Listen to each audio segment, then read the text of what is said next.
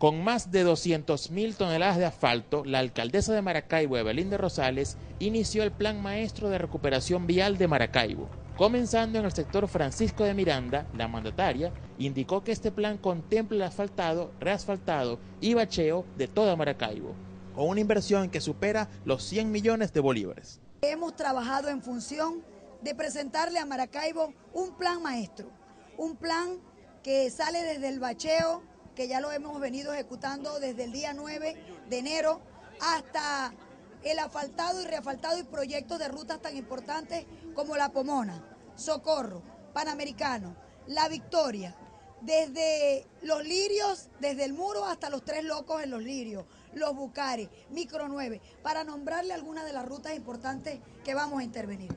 Pero ya comenzamos con nuestro plan en el sector de la Victoria. Desde ayer estamos trabajando en la Victoria. Vamos a abrir cuatro frentes de trabajo en el 18 de octubre, en Guanadiávila y en San Jacinto, en La Boquilla, en todos los sectores que de una u otra forma están destrozados por los huecos y por los colectores que se han ido.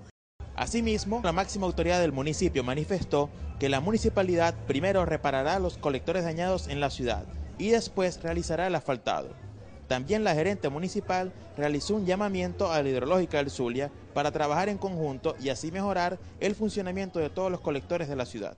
Quiero informarle a Maracaibo que no vamos a faltar hasta tanto los colectores no estén reparados. Estamos trabajando en el colector de la Victoria.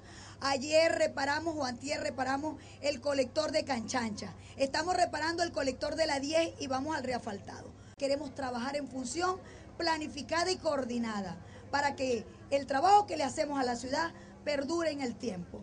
Pero aquí quiero hacer un inciso y aquí quiero hacer una acotación y decirle a Hidrolago que Maracaibo es la amistad del Estado Zulia, que aquí todos tenemos que colaborar y todos tenemos que ponernos a coordinar para que el asfaltado, el reafaltado y las calles de Maracaibo vuelvan a ser lo que en otrora fueron.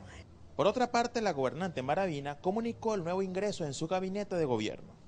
Es importante que sepan que tenemos diferente gente que va a acompañarnos y ayudar dentro del gabinete. Y bueno, voy a darles una primicia. Como directora general tendremos en la alcaldía a Yamil Liscano. Yamil Liscano, el arquitecto Yamil Liscano, se viene a la alcaldía de Maracaibo a ayudarnos un poco para seguir trabajando de manera pancomunada.